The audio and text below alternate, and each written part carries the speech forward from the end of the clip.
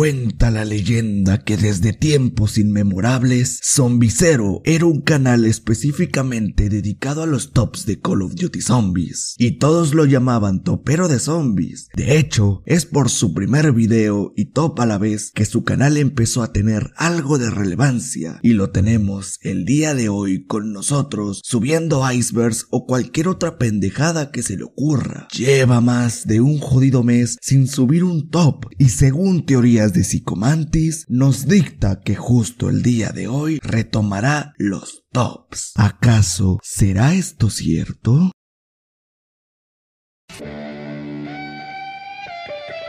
Y así es, señor fucking presentador, sean bienvenidos a un top luego de tanto tiempo. Y que les traigo el día de hoy, bueno pues los 6 mejores primeros DLCs de todo Call of Duty Zombies, no solo de Treyarch, sino que también los otros modos zombies que no fueron hechos por Treyarch quizá entren aquí, solo si su primer DLC fue relativamente bueno o quizás en las menciones honoríficas al menos trataré de incluir un DLC que no sea de Treyarch, así que bueno, ya saben cómo funciona esto, que va según mi opinión y que acepto que cambien algunas posiciones en los comentarios porque al fin y al cabo es solo una opinión mía, otro tronco más que se dedica a subir Call of Duty Zombies, un zomber en toda su palabra para no alargarme más. Así que con esto, ya más claro que el agua, podemos comenzar este topcito bien sabrosongo.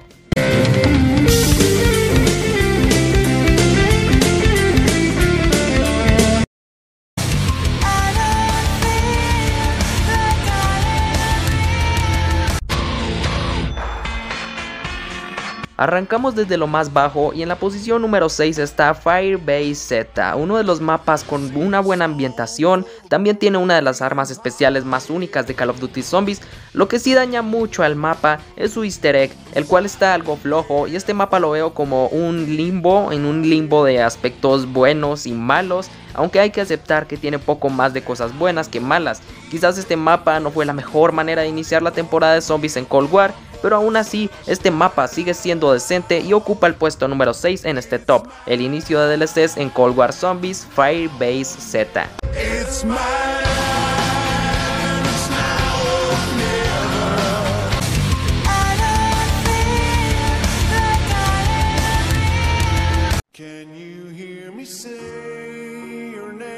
Y en el puesto 5, situándonos en un mapa ahora sí más arriba de lo decente, está Rave in the Redwoods de Infinite Warfare. ¿Qué puedo decir de este primer DLC, de este grandioso modo en este juego? Lo que más se destaca de este mapa es que como ya lo he dicho varias veces, su paleta de colores y combina muy bien con su localización, su fiesta esa de adolescentes bien colorida y así. Los Slayers son buenos, eso sí su pelea final puede mejorar un poco más de lo que fue, pero aún así estuvo buena y por esto Rave in the Redwoods, un mapa que no fue hecho por Treyarch, ocupa un lugar en este top como lo sería el lugar número 5.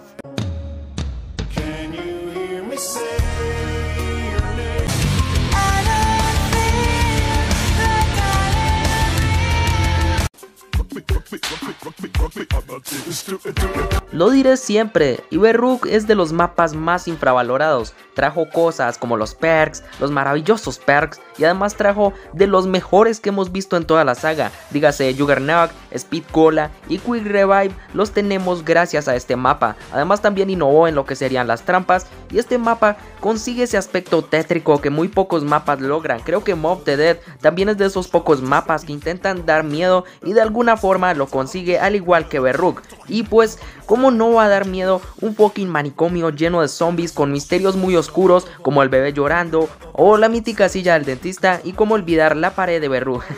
en fin, un mapa hermoso y un infravalorado entre todos los mapas que hemos tenido, pero aquí le doy el amor que merece este mapazo, otorgándole el lugar número 4. Y no lo dije, pero de hecho este fue el primer DLC que tuvimos de todos zombies y les quedó increíble sin dudas.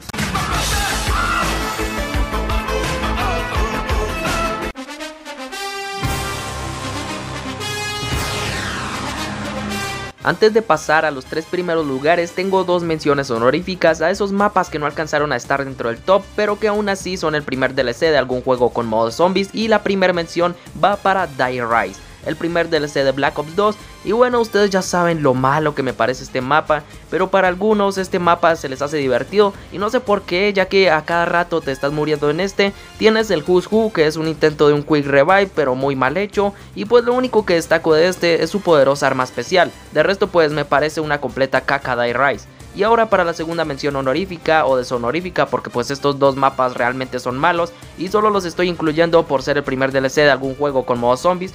Y bueno, la segunda mención va para The Darkest Shore, que sí, como lo dije, es un mapa malo porque tiene esa neblina que no te deja ver nada y quizás pensaron que esta neblina haría este mapa divertido, pero no fue así.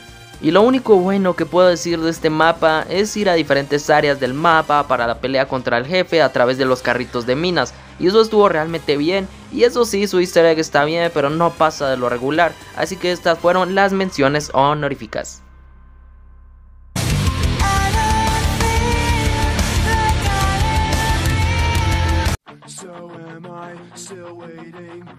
Ahora sí que llegando a los besto de los besto del S1 de todo Call of Duty Zombies, en el puesto número 3 está Dead of the Night. En concepto, la idea del mapa suena bien, una gran idea, una mansión enorme y también el bosquecito de afuera. Y pues bueno, sé que mientras nos vamos acercando al top 1 no deberían haber casi fallos en los mapas, pero este lo único que tiene que medio me molesta es la cantidad de zombies especiales. Quizás esto no lo dije cuando califiqué todos los mapas de zombies, por cierto link en la descripción, pero es que aquí son muchos zombies especiales. El lobo sí está bien, tiene un gran diseño, pero luego te tiran los esqueletos y llenan el mapa de zombies especiales. Es lo único que no me gusta del mapa. Eso sí, su arma especial está muy bien, su easter egg está bien y en estética, en ambientación, este mapa es magnífico, lo consigue. En pocas palabras, un gran comienzo para empezar la temporada de zombies del Black Ops 4.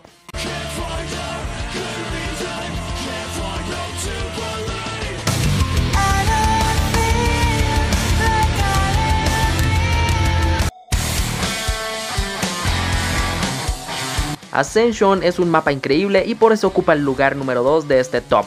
Creo que si este mapa no habría existido en Black Ops 1, pues diríamos que Black Ops 1 fue un modo con unos zombies regulares, pero Ascension llegó como el primer DLC y que les puedo decir, elevó mucho las expectativas de lo que teníamos con el pinche Five todo feo. Trajo cosas como las matroscas, el poderosísimo dispositivo Gersh y cómo olvidarnos del regreso de la Thundergun para este mapa. Su canción Abra Cadabre es una joyita y pues este mapa tiene el mérito de ser el primer mapa, ahora sí que con un easter egg grande podríamos decir. También innovó en cosas como de que iniciamos en blanco y negro y luego podemos ponerle color al asunto, solo con encender la electricidad. Así que estas son las principales cosas por las que brilla este mapa. Obviamente dejando a los monos castrantes de lado hace que este mapa llegue a casi ganarse la corona y solo estando por debajo del siguiente puesto.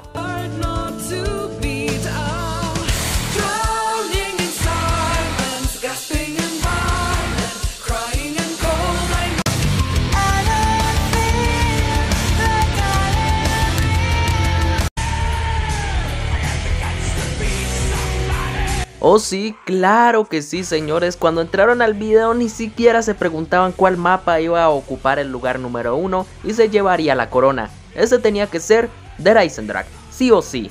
El mejor primer DLC de todos en zombies es el de Black Ops 3. Lo único que no me gusta de este mapa es que es un fucking intento de Origins, pero no alcanza a llegar al nivel de ese mastodonte, pero aún así este mapa es pues prácticamente un fanservice, así que tenía que combinar aspectos de varios mapas para lograr ser un buen fanservice. The Rise Drag es bueno con sus arcos elementales, su canción es buenísima, The Dagain es un rolón en todos los sentidos, tenemos el regreso del Panzer, la destrucción de la mismísima luna, tenemos la pirámide de Moon, su easter egg es buenísimo, su batalla final también lo es, y pues es básicamente por eso y más que The Rise Drag no solo será recordado como el mejor DLC 1 de todos, ni por el boom que tuvo en su época, sino también por ser uno de los mejores mapas jamás hechos en zombies.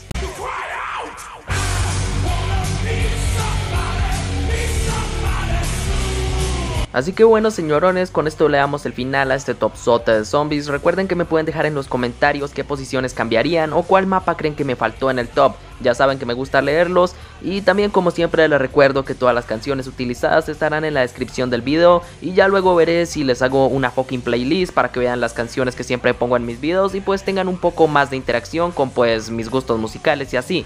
Gracias por ver el video, los quiero un vergo y prepárense porque el iceberg definitivo de Black Ops 2 Zombies ya está en proceso. Ah, también por supuesto gracias al compita señor Nicolai por prestar su voz para la introducción de este video. Les dejaré su canal en la descripción, él también sube COD Zombies por si quieren checarlo, hace videos muy buenos y díganle que van de mi parte. Ahora sí señores, buenos días, buenas tardes y buenas noches. Eso no lo saqué en ninguna película. Me despido, adiós.